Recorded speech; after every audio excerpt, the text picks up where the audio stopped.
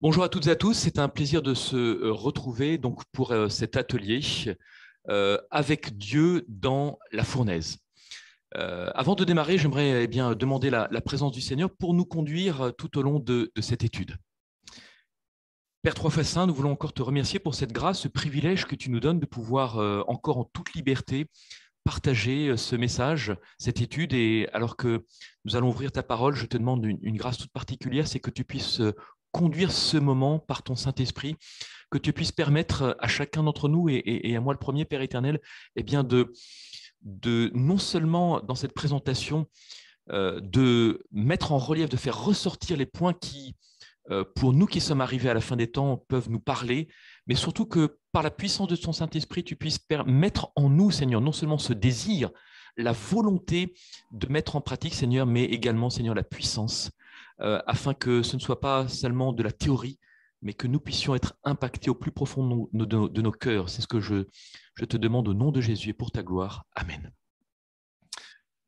Avec Dieu dans la fournaise. Alors, je vais vous euh, partager euh, le, PowerPoint. voilà. Et j'ai mis ce sous-titre donc l'exemple de ceux qui nous ont précédés. Quel est, euh, pour nous qui sommes aujourd'hui arrivés à la fin des temps, c'est ce que euh, Paul déclare en 1 Corinthiens chapitre 10 verset 11, où il nous dit que ces choses sont arrivées pour servir d'exemple et elles ont été écrites pour notre instruction à nous qui sommes parvenus à la fin des siècles. C'est ce que nous allons euh, essayer de, de voir. Alors ce feu de l'épreuve, Ellen White décrit cela dans euh, Conquérant Pacifique en euh, faisant ressortir que euh, cette espérance d'un héritage réservé dans la nouvelle terre réjouissait les premiers chrétiens, même dans leurs épreuves et, leurs tribulations. Et je pense que par rapport à ce que nous sommes en train de, vivre, nous devons aussi demander au Seigneur de mettre dans nos cœurs la joie, de mettre dans nos cœurs la paix, quand bien même ces épreuves, quand bien même ces tribulations. Et euh, donc c'est ce texte, c'est là ce qui fait votre joie, écrivait Pierre, quoique maintenant, puisqu'il le faut, vous soyez attristés pour un peu de temps par diverses épreuves, afin que l'épreuve de votre foi, plus précieuse que l'or périssable, qui cependant est éprouvé par le feu, ait pour résultat la louange, la gloire et l'honneur lorsque Jésus-Christ apparaîtra. Donc, tout ce que nous sommes en train de vivre euh, de manière globale ou tout ce que nous sommes en train de vivre de manière personnelle n'a qu'un but. Eh bien, c'est que le résultat de tout cela soit la louange, la gloire et, l'honneur, parce que euh, Jésus contrôle, Dieu contrôle les événements. Quand bien même il nous faudrait eh bien, euh, rentrer dans la fournaise, et c'est ce que nous, nous allons voir. Dans Conseil sur la conduite sexuelle, l'adultère et le divorce, Hélène White écrit Quand tout disparaîtra au grand jour de la destruction, seul subsistera l'or d'un caractère sanctifié. Un tel caractère ne s'altère pas et résistera à l'épreuve du feu au dernier jour. Ainsi donc, euh, le feu de l'épreuve euh, a pour objectif eh bien, de, de, préparer en nous un caractère, un caractère qui soit totalement soumis euh, eh bien, aux directives du Seigneur, un, caractère totalement transformé, et afin de, nous permettre, eh bien, par la foi, d'aller de l'avant et de ne pas être paralysé. Le jour de Dieu tant attendu mettra bientôt à l'épreuve l'œuvre de tout homme. Le feu éprouvera de quelle nature est l'œuvre de chacun. Et il est intéressant de relever que même sans la pleine assurance que Dieu les délivrerait, les trois jeunes Hébreux ont tenu ferme dans leur foi parce qu'ils savaient que, quand bien même Dieu ne les délivrerait pas du feu, Dieu pourrait quand même les délivrer. Et c'est cette espérance, c'est cette foi que nous devons demander au Seigneur dans ces derniers temps où nous sommes arrivés. Alors, avec Dieu dans la fournaise, j'ai essayé de, mettre sous forme de tableau chronologique euh, les différents événements, l'enchaînement qui ont permis euh, aux trois compagnons de Daniel et à Daniel même, eh bien, d'en arriver là où ils en sont arrivés. Qu'est-ce qui a fait que ils ont pu tenir, quand bien même ils n'avaient pas la certitude de ce que serait la suite, mais ils avaient en tout cas, euh, je dirais, l'espérance que Dieu pourrait les délivrer. Alors, nous retrouvons euh, ces, trois euh, jeunes Hébreux qui, en Daniel 3, 15 et 16, qui restent debout. L'ordre a été intimé à, au monde hein, qui s'est réuni, au peuple qui s'est réuni dans cette plaine de s'agenouiller. Et ces trois jeunes Hébreux comprennent que non, il est impossible pour eux de s'agenouiller devant cette statue.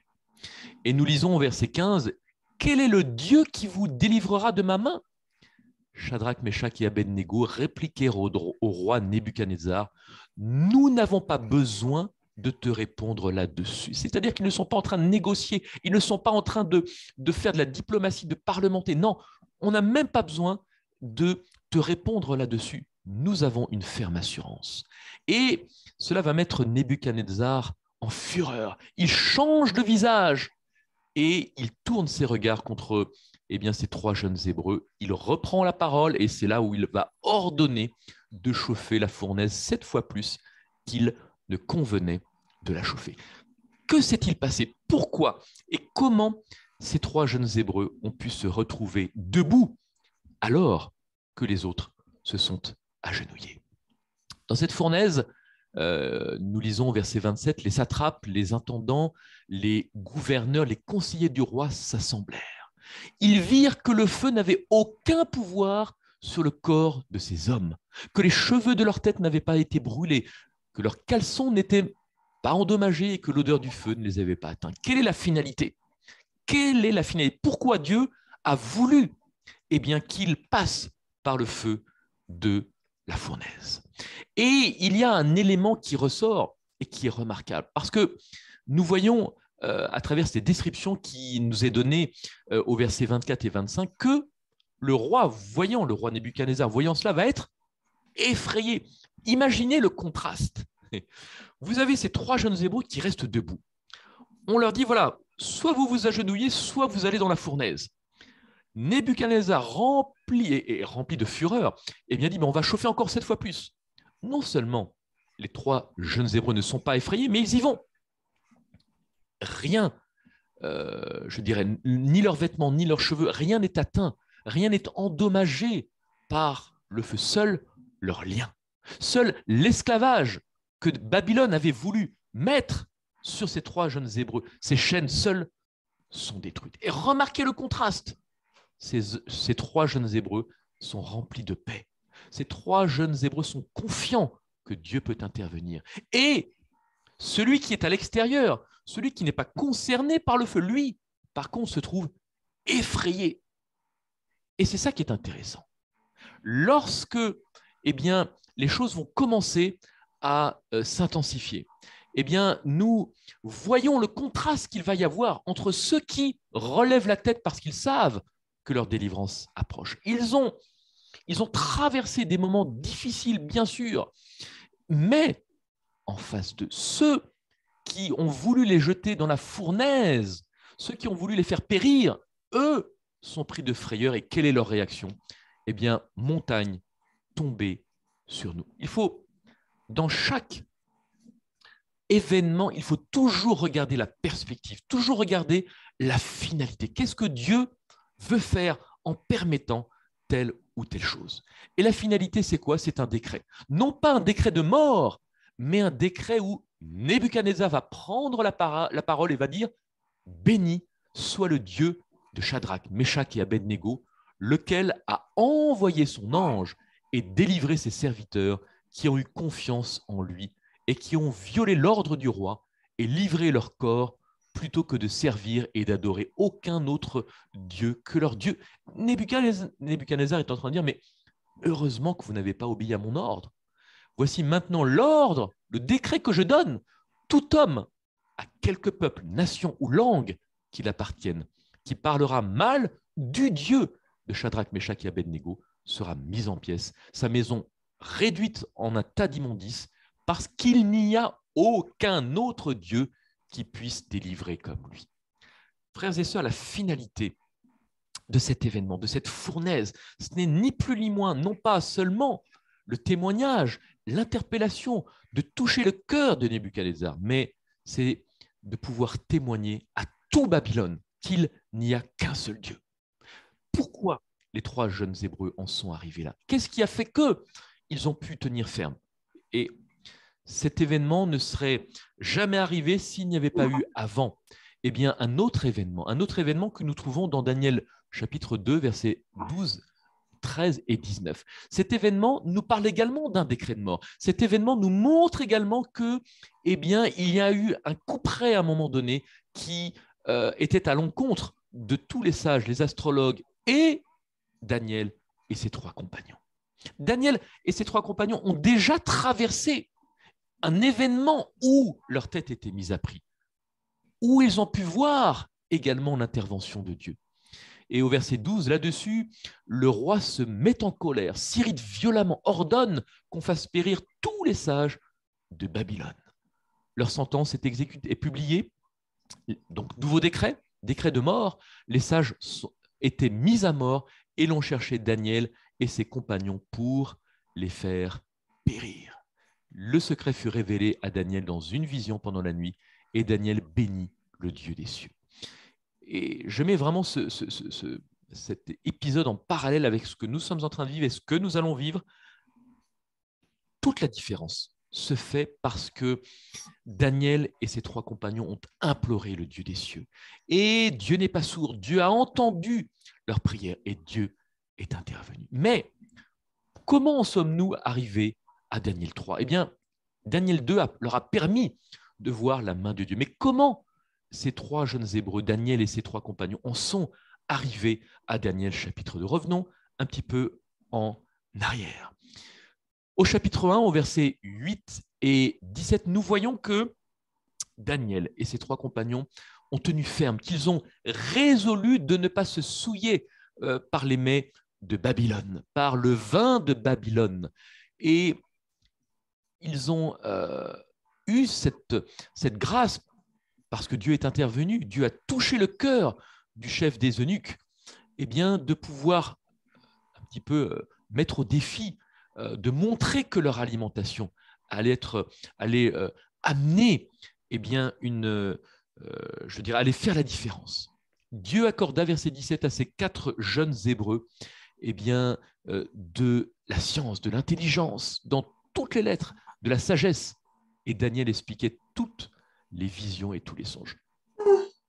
Daniel chapitre 2 n'aurait pu arriver si au chapitre 1, eh bien, il n'avait pas euh, tenu ferme quant au principe euh, de santé, quant euh, au refus de, de, se nourrir et de, boire ce vin de, Babylone. Cette sagesse et cette intelligence est venue suite à cette réforme, suite eh bien, à cette prise de conscience que ces principes, et d'ailleurs, ce qui est très intéressant, c'est que dans les commentaires juifs de Daniel chapitre 1, les commentaires juifs insistent et disent que Daniel et ses compagnons ont compris que accepter les mets de Babylone, c'était accepter un changement d'adoration. Et ça, c'est intéressant. Il est important de, de, se remettre dans le contexte de la culture juive pour comprendre aussi eh bien, ce que nous avons perdu aujourd'hui. Donc, Daniel chapitre 1 va être le déclencheur de Daniel chapitre 2 et de Daniel chapitre 3. Tout, tout commence eh bien, par le refus de se formater au mets et au vin de Babylone. Mais qu'est-ce qui a été le, déclencheur de Daniel euh, chapitre 1 Eh bien, c'est tout simplement ce que nous avons en Daniel chapitre 1, versets 1 à 2. La troisième année du règne de Joachim, roi de Juda, Nebuchadnezzar, roi de Babylone, marcha contre Jérusalem et l'assiégea. Pourquoi? Parce que le, Seigneur donc va livrer entre ses mains Joachim, roi de Juda, et une partie des ustensiles de la maison de Dieu. ce n'est pas rien. On, parle du sanctuaire dans lequel il y avait les ustensiles, des ustensiles qui servaient à l'accomplissement du, rituel du sanctuaire, et avec la présence même de Dieu. Mais Dieu va permettre de livrer eh bien, entre les mains du roi de Babylone, Joachim. Pourquoi? Pourquoi? Pourquoi? Et là, il est important de revenir euh, à ce qui s'est passé et j'ai essayé de faire une synthèse de ce que nous pouvons trouver dans 2 Rois chapitre 20, dans 2 Chroniques 32, dans Ésaïe 38 et dans Prophètes et Rois chapitre 29. Et je n'ai pris que la synthèse que nous pouvons trouver dans Prophètes et Rois, donc au chapitre 29. La finalité, l'aboutissement de tout cela, eh bien, c'est euh, ce que nous pouvons trouver donc, dans euh, Prophètes et Rois, page 265, et qui, euh, va citer Ésaïe 39, euh, versets 3 à 8. Ésaïe dit à Ézéchias Écoute la parole de l'Éternel des armées. Voici les temps viendront où l'on apportera à Babylone tout ce qui est dans ta maison et ce que tes pères ont amassé jusqu'à ce jour. Il n'en restera rien, dit l'Éternel, et j'en prendrai de tes fils qui seront sortis de toi, que tu auras engendrés pour en faire des eunuques dans le palais du roi de Babylone. Ézéchias répondit à Ésaïe, la parole de l'Éternel que tu as prononcée est bonne. Tout ce que nous voyons en Daniel chapitre 1 et la suite est la conséquence de la désobéissance du roi Ézéchias. Et qu'est-ce qui s'est passé? Il est très important de comprendre, frères et sœurs, euh, je dirais tout l'enchaînement de ce qui s'est passé avec Ézéchias. Juste avant cette sanction que Ésaïe va, donner, eh bien, nous voyons que euh, Ézéchias va montrer quelque chose, va montrer de l'orgueil. Euh, c'est ce que nous lisons. L'orgueil et la vanité s'emparèrent du cœur d'Ézéchias. Pour s'exalter lui-même, il déploya au regard plein de convoitise des ambassadeurs babyloniens les trésors dont le Seigneur avait enrichi son peuple. L'Éternel voulait quelque chose dès le départ. L'Éternel voulait se servir d'Ézéchias pour que le témoignage euh, puisse impacter tout Babylone.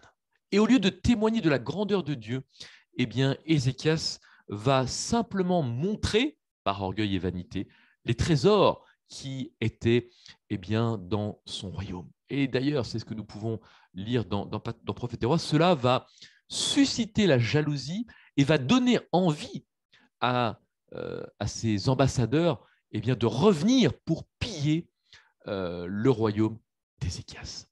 Alors, si nous revenons en avant, il est intéressant de voir que au tout début de la vie d'Ézéchias, nous lisons page 261, aucun roi n'avait en effet depuis le règne de David consolidé comme Ézéchias le royaume de Dieu au sein de l'apostasie. Et alors que tout semblait perdu, il avait servi son Dieu fidèlement et redonné à son peuple confiance en celui qui était son suprême souverain. Relisez, je vous invite vraiment à relire euh, tout ce, chapitre parce que nous voyons euh, au travers de ce qu'a mis en place Ézéchias toutes les leçons que nous pouvons en tirer pour nous aujourd'hui parce que nous, nous avons vraiment besoin d'appliquer les, mêmes réformes. Ézéchias a fait une œuvre extraordinaire euh, en chassant, en détruisant tout ce qui concernait les hôtels à Baal et compagnie, détruisant tout les, hôtels et autres. Donc, euh, Ézéchias a vraiment permis une réforme incroyable parmi le peuple de Dieu. Mais, à un moment donné, Ézéchias eh bien, euh, va être malade, un, coup près va tomber, Ésaïe va, va lui dire, eh bien, tu vas mourir. Et au milieu, euh, donc nous lisons, au milieu de son règne prospère, Ézéchias fut soudain frappé par une maladie mortelle. Et Ézéchias va faire une prière. Et Ésaïe était, était reparti. Et à peine, euh, je dirais, Ézéchias fait cette prière, et Ésaïe au milieu de la cour, c'est-à-dire qu'il venait juste de partir, entend cette, parole euh, du Seigneur en disant Reviens. Ézéchias a trouvé grâce à mes yeux, je vais intervenir. J'ai entendu ta prière, j'ai vu tes larmes, voici, je te guérirai. Le troisième jour, tu monteras la maison de l'Éternel. J'ajouterai à tes jours 15 années, je te délivrerai, toi et cette ville. La ville était entourée par l'oppresseur et Dieu lui donne une double, euh, je dirais, une, un, double accomplissement, la guérison d'Ézéchias, mais en même temps, eh bien, le fait de sauver cette ville qui était entourée par l'ennemi. Le, prophète donc revint vers Ézéchias, le cœur plein de joie, et lui fit part de ses paroles de certitude et d'espoir. Il ordonna que l'on applique une masse de figues sur la partie malade et il assura le roi de la miséricorde et de la protection divine. Là encore, nous voyons le rôle et l'importance de quoi De la réforme sanitaire. Dieu aurait pu dire, euh, voilà, tu es guéri, c'est réglé, il n'y a rien à faire. Non, Dieu veut aussi que, pédagogiquement, Ézéchias comprenne que sa guérison aussi, c'est l'intervention de Dieu, mais que cela passe par une réforme de santé, où Ézéchias puisse reconnaître également que par la création de ce que Dieu a fait, euh, par des produits naturels, eh bien, ce soit un moyen de glorifier Dieu et de voir que Dieu avait déjà tout prévu pour nous guérir. Et il y a un élément très intéressant, c'est que le roi Ézéchias euh, va demander ainsi pour s'assurer que ce message d'Ésaïe vient bien du ciel. Voici, répondit le prophète, le signe auquel tu connaîtras que l'Éternel accomplira la parole qu'il a prononcée. L'ombre avancera-t-elle de 10 degrés ou reculera-t-elle de 10 degrés? Ézéchias répondit, c'est peu de choses que l'ombre avance de 10 degrés, mais plutôt qu'elle recule de 10 degrés. Et donc Dieu va, va répondre à cette requête et va permettre que l'ombre recule de 10 degrés. Quel, quel est l'intérêt de tout cela? Eh bien, regardez un détail qui est extraordinaire. C'est ce que nous pouvons trouver toujours dans Prophète et Roi, page 265. Dans les vallées fertiles du Tigre et de l'Euphrate se trouvaient des savants qui s'adonnaient à l'étude de l'astronomie. Et lorsqu'ils constatèrent tout de suite, ils vont, Dieu répond euh, à, la requête d'Ézéchias et immédiatement, ces savants qui s'adonnent à l'étude de l'astronomie vont constater que l'ombre sur le cadran solaire avait reculé de, de 10 degrés et ils furent stupéfaits. Quand le roi Bérodac Baladan apprit que ce miracle avait eu lieu pour servir de signe au roi de Juda et que le Dieu du ciel l'avait guéri, il envoya des messagers à Ézéchias pour le féliciter de sa guérison et écouter, et pour connaître davantage, si possible, le Dieu qui était capable de si grandes merveilles. Vous voyez combien Dieu est bon, combien des fois Dieu ouvre les portes que nous, pour que nous puissions témoigner, pour que nous puissions euh, proclamer la grandeur de Dieu.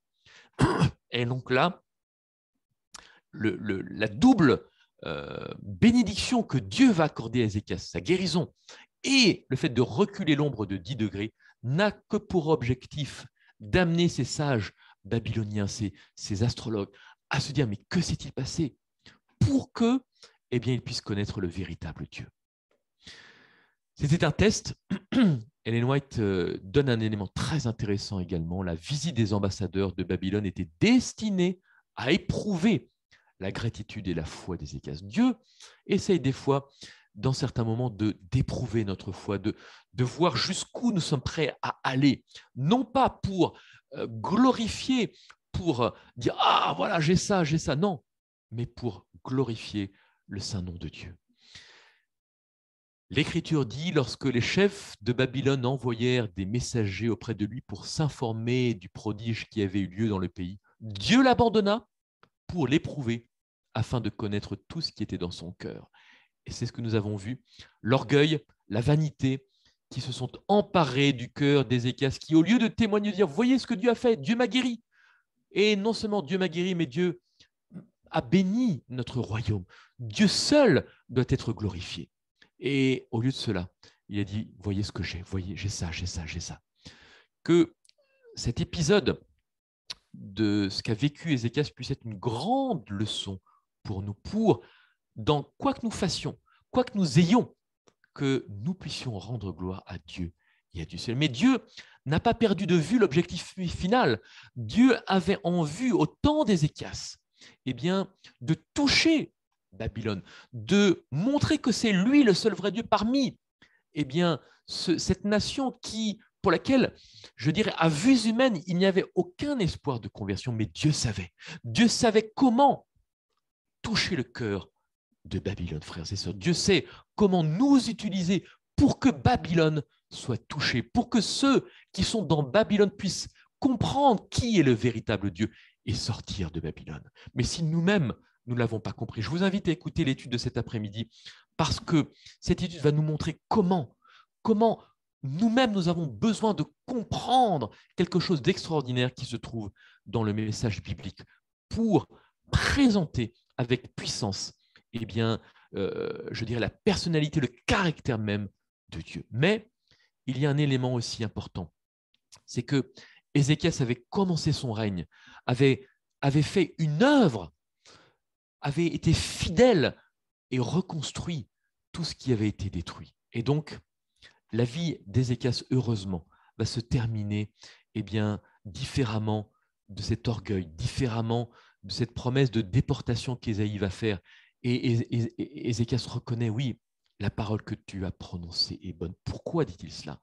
Eh bien, nous lisons, page 265, bourré, bourrelé de remords. Ézéchias au sein de son orgueil. Alors, le terme remords est euh, bon, il y a une connotation, c'est il est réellement pris de repentance. Ézéchias, du sein de son orgueil, s'humilia, voilà cette description, s'humilia avec les habitants de Jérusalem, et la colère de l'Éternel ne vint pas sur eux pendant la vie d'Ézéchias. Mais, mais la mauvaise semence avait été jetée. Elle devait lever en son temps et produire une moisson de désolation et de malédiction. Cet exemple de cette fournaise de ces trois jeunes Hébreux nous amène eh bien, jusqu'à Ézéchias, où Dieu avait en vue, et cette, cette apothéose, ce bouquet final avec Daniel chapitre 3, avec ce décret, non pas de mort, mais ce décret, eh bien, où Nebuchadnezzar invite, et même un peu plus qu'invité, euh, le peuple de Babylone a adoré le seul vrai Dieu. C'est ça que Dieu avait en vue. Et c'est ça que Dieu a en vue en cette fin des temps. Quels que soient les moyens, quels que soient les événements que Dieu va permettre, pas forcément susciter, mais que Dieu va permettre, ou des fois certains qu'il va susciter, non, que pour objectif, frères et sœurs, eh bien, d'amener Babylone à la repentance, d'amener Babylone à reconnaître qu'il n'y a qu'un seul vrai Dieu. C'est la grande leçon.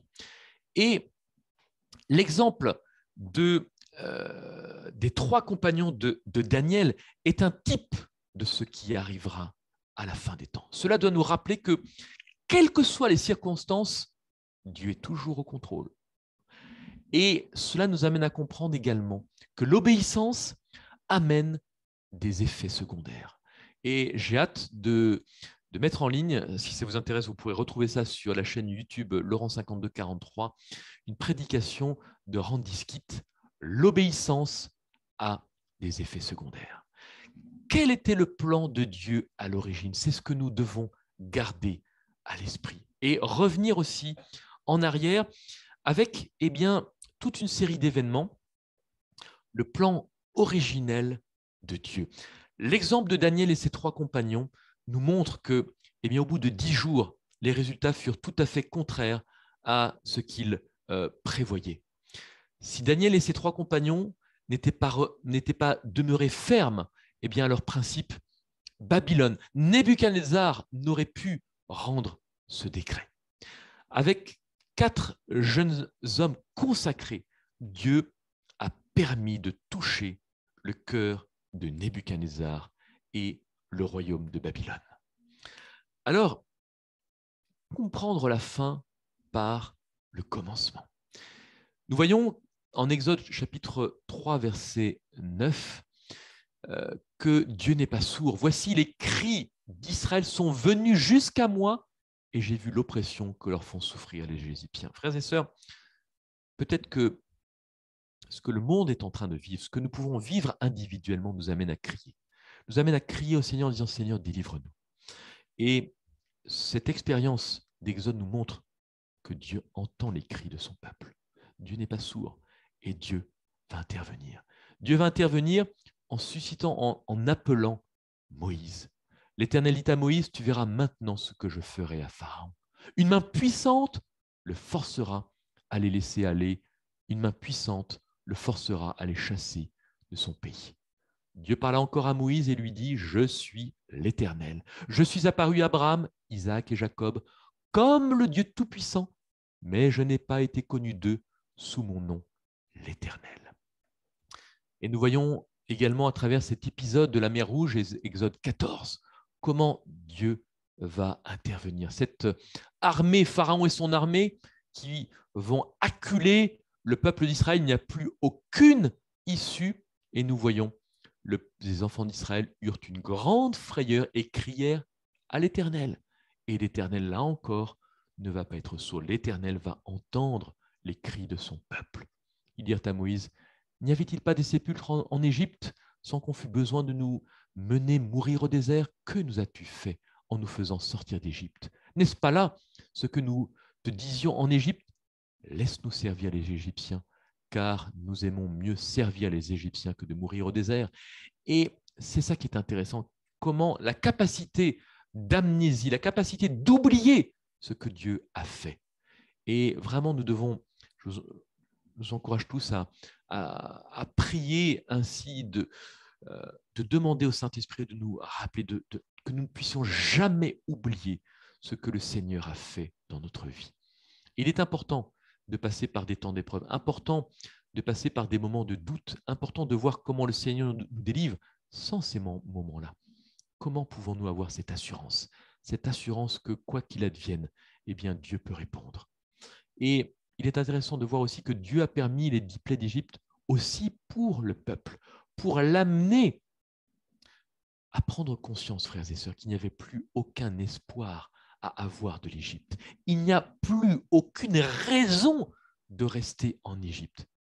Frères et sœurs, ce que nous sommes en train de vivre, n'est-ce pas Je ne vais pas faire un parallèle avec les dix plaies d'Égypte, mais c'est un petit peu quelque part euh, sur un plan différent.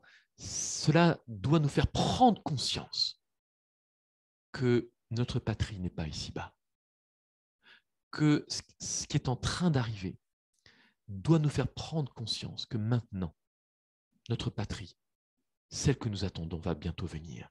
Et nous devons mettre toute notre espérance dans cette patrie céleste et plus rien attendre de cette terre. Que vraiment, en tout cas, euh, s'il y a une bénédiction à retirer de cette crise, c'est que nous devons sortir de notre zone de confort, dépendre de Dieu et de Dieu seul. Nous voyons cette rébellion à travers la soif, à travers les murmures et la désobéissance. Le peuple de Dieu se plaint. Le peuple de Dieu se plaint. Il murmure. Il n'a pas compris ce que Dieu voulait faire. Il n'a pas compris là où Dieu voulait l'emmener. Que vraiment ce soit une leçon pour nous. Que nous puissions avoir une claire compréhension de la destination finale où Dieu veut nous emmener, quand bien même nous passerions par la vallée de l'ombre et de la mort. Et il est intéressant de, voir qu'il y a une préparation. La rencontre de Dieu ne se fait pas comme cela. Impossible de rencontrer Dieu sans préparation. L'Éternel dit à Moïse, euh, va vers le peuple, sanctifie-les aujourd'hui et demain, et qu'ils lavent leurs vêtements. Nous devons laver nos vêtements, nous devons nous retrouver nus de la nudité dont seul Christ peut nous recouvrir du manteau de justice. Dieu avait en vue quelque chose de précis. C'est ce que j'ai développé récemment dans un thème, le dévoilement. Il est, fou de voir que ce qui, ce qui est en train de se passer au mont Sinaï n'est ni plus ni moins que la célébration d'un mariage. Le troisième jour au matin, il y eut des tonnerres, des éclairs, une épaisse nuée sur la montagne. Le son de la trompette retentit fortement, et tout le peuple qui était dans le camp fut saisi d'épouvante. La montagne de Sinaï était toute enfumée parce que l'Éternel y était descendu au milieu du feu. Cette fumée s'élevait comme la fumée d'une fournaise. Ah, nous retrouvons la fournaise. Et toute la montagne tremblait avec violence. Tout le peuple entendait les tonnerres et le son de la trompette, et il voyait les flammes de la montagne fumante. C'est ce que nous pouvons retrouver également, puisqu'on nous dit que Moïse passa, et, donc euh, Nadab, Abihu, Aaron, les 70 anciens. Euh, donc Moïse va, va, rester six jours, six jours avant que, au septième, ils ne reçoivent eh bien, euh, la loi. Il est intéressant de voir que toute cette fumée représente c'est la présence du Saint-Esprit, représente, parce que dans tout mariage, dans un concept juif, le marié et la mariée était recouvert de ce qu'on appelait du de, de, cette couverture, de, cette, de ce voile qui les recouvrait. Et c'est ce qui est en train de se passer, c'est ce que les Juifs ont pleinement compris. C'est en train de ce qui est, pardon, c'est en train de, c'est ce qui est en train de se passer, pardon, euh, au mont Sinaï. Le peuple est recouvert de ce dais parce que un mariage est en train d'être célébré. Et dans la conception juive, un mariage durait sept jours. Six jours pendant lesquels il y avait des réjouissances, il y avait tout un cérémoniel. C'est ce que nous avons au verset 16 euh, à 18. Et le septième jour, il y avait la consommation du mariage. C'est ce que nous pouvons trouver eh bien, dans, ce récit également. C'est d'une profondeur, c'est d'une grandeur sans... C'est impossible de décrire. Je me dis, mais quelle, quelle profondeur dans, dans, ce texte. Et nous voyons, alors deux textes de euh, Patriarche et Prophète, page 224 et 236.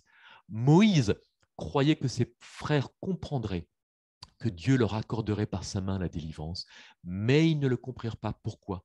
Ils n'étaient pas encore mûrs pour la liberté. Et page 236, les Hébreux s'étaient attendus à recouvrer la liberté sans subir d'épreuves pour leur foi, sans souffrance ni privation.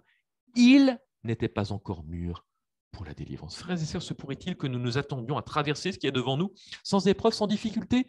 Se pourrait-il que nous ne soyons pas encore mûrs pour la liberté et pour la délivrance? Exode chapitre 20, à ce spectacle, le peuple tremblait et se, dans, et se tenait dans l'éloignement. Nous avons vraiment besoin de comprendre que c'est une proximité avec Dieu, une intimité, la consommation de ce mariage, rentrer dans l'intimité, dans une connaissance intime de Dieu. Sinon, eh bien nous-mêmes, comme ce peuple qui n'était pas prêt pour le mariage, nous aurons peur de célébrer ce mariage et nous allons eh bien nous tenir dans l'éloignement et ne pas euh, participer à ce banquet. Il y a également, c'est ça qui est très intéressant, c'est tout l'enjeu, euh, un faux époux. Le peuple, voyant que Moïse tardait à descendre de la montagne, s'assembla autour d'Aaron et lui dit Allons, faisons un Dieu qui marche devant nous, car ce Moïse, cet homme qui nous a fait sortir du pays d'Égypte, nous ne savons ce qu'il est devenu. Et donc là, ils, ont compris, ils ont compris que un mariage était en train d'être célébré. Mais euh, comme Saül qui devait attendre sept jours, il n'a pas eu la patience d'attendre. Oh, quelle analogie extraordinaire. Et donc là, le peuple de Dieu n'a pas la patience d'attendre. Et, eh bien, il se dit, mais ok, un mariage est, un célébré, nous, est en train de célébrer. Nous allons nous-mêmes choisir notre époux. Et nous allons faire un bal. Parce que nous voulons nous choisir l'époux. Et euh, regardez, quand vous lisez Matthieu chapitre 25, euh, vous voyez ces noces, ces noces avec ces, vierges qui se sont préparées. Et regardez maintenant, mettez en perspective Matthieu 24. Je ne vais pas développer ça, mais on pourrait développer de manière incroyable Matthieu 24 dans la perspective des noces, dans la perspective de ce que Jésus dit, prenez garde que personne ne vous séduise. Pourquoi? Parce que comme au Sinaï, vous aurez la, la, la, volonté par vous-même de vous choisir un époux. Mais ce sera le faux. Ce sera un Baal, comme euh, je dirais au Sinaï. Dieu nous avertit, prenez garde que personne ne vous séduise et veuille faire de vous un époux. Et cette relation, l'Éternel parlait avec Moïse face à face comme un homme parle avec son ami. C'est ce que Dieu veut, frères et sœurs, aujourd'hui. Dieu veut nous parler face à face comme avec son ami, comme il l'a fait avec Moïse. Puis Moïse, retournait au camp, mais son jeune serviteur, Josué, fils de Noun, ne sortait pas du milieu de la tente. L'Éternel dit à Moïse, je ferai ce que tu me demandes.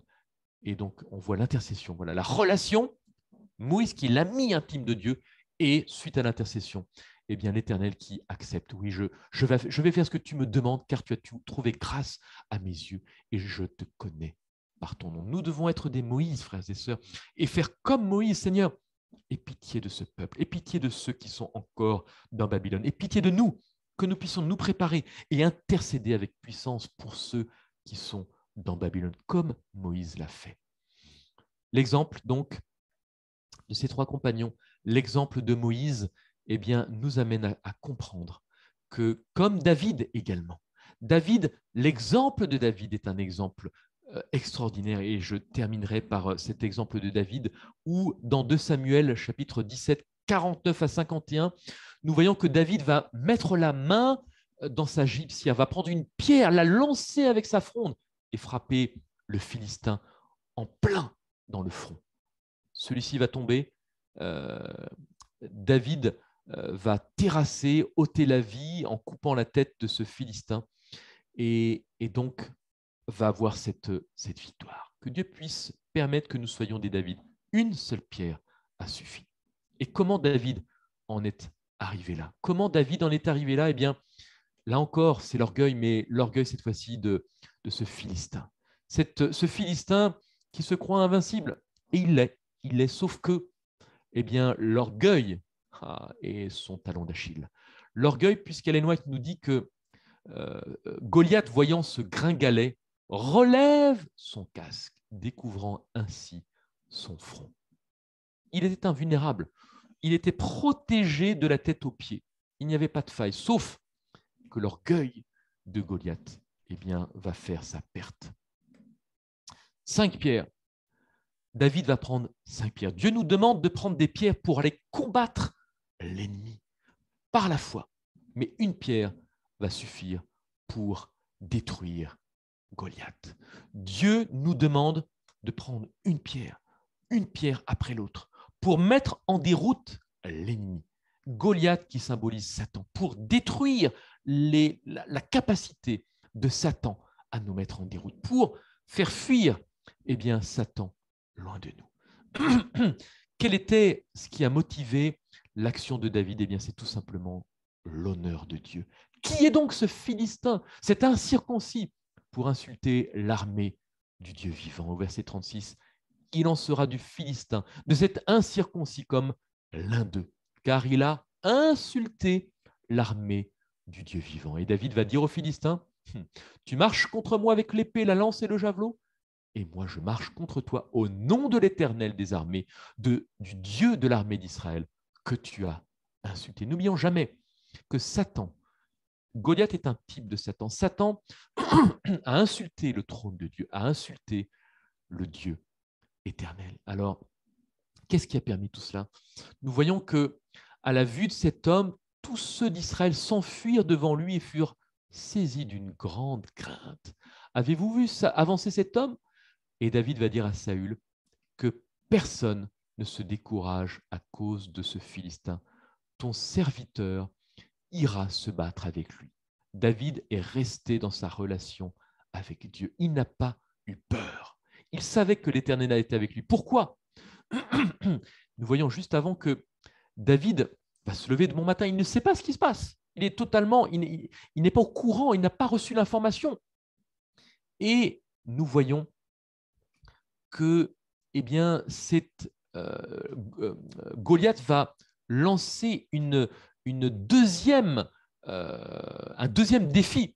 Donc Goliath a lancé une première fois un défi. Personne n'est venu.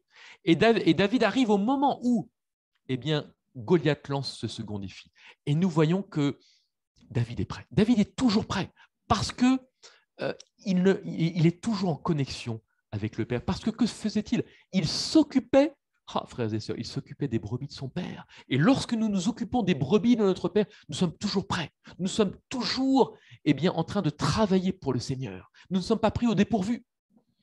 Et pourquoi Comment Pourquoi était-il toujours prêt? Eh bien, par son témoignage, David déclare Ton serviteur faisait paître les brebis de son, de son Père, et quand un lion ou un ours venait en enlever une du troupeau, je courais après lui, je le frappais, je l'arrachais euh, de sa gueule.